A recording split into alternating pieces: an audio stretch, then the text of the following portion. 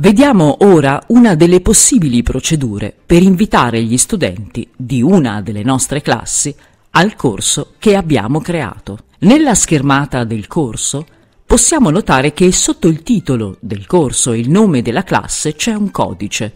Gli studenti lo utilizzeranno per iscriversi su richiesta del docente. Una volta selezionato e copiato il codice, aprirò la mia mail istituzionale e invierò il codice in questione utilizzando l'indirizzo email del gruppo classe che risulta nell'elenco del file Excel che mi è stato inviato dall'animatrice digitale.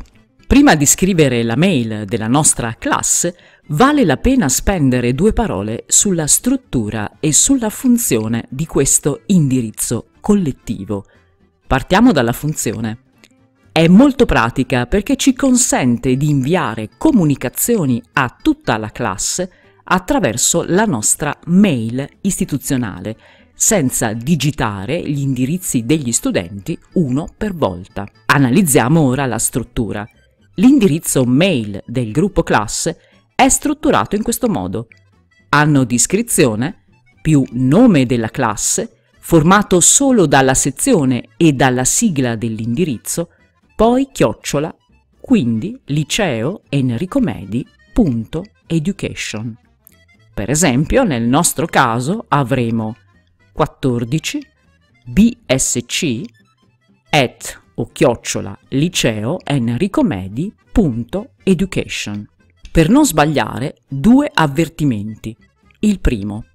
Attenzione a digitare correttamente l'indirizzo email della classe non dovrò scrivere, per esempio, 141bsc chiocciola liceo enricomedi.education ma 14 bsc chiocciola liceo enricomedi.education senza specificare prima, seconda, terza classe.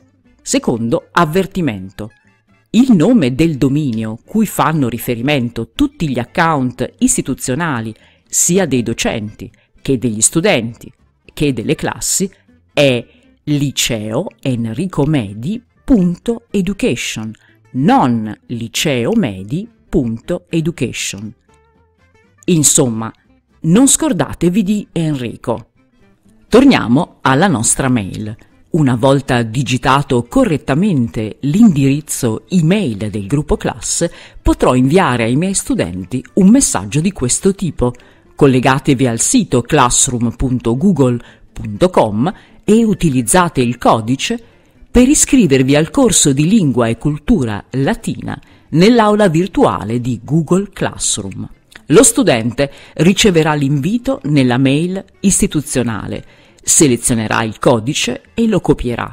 Si collegherà quindi al sito di Google Classroom digitando l'indirizzo fornito dall'insegnante classroom.google.com. In alto a destra, seguendo la freccia, selezionerà l'indicazione Iscriviti al corso. Nella finestra Iscriviti al corso inserirà il codice del corso che gli è stato inviato per mail dall'insegnante e cliccherà su Iscriviti.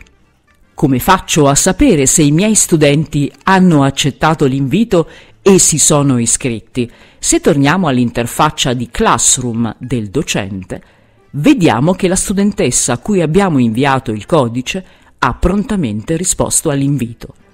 Ovviamente dobbiamo augurarci che tutti rispondano prontamente come la nostra studentessa modello. Hasta luego amigos.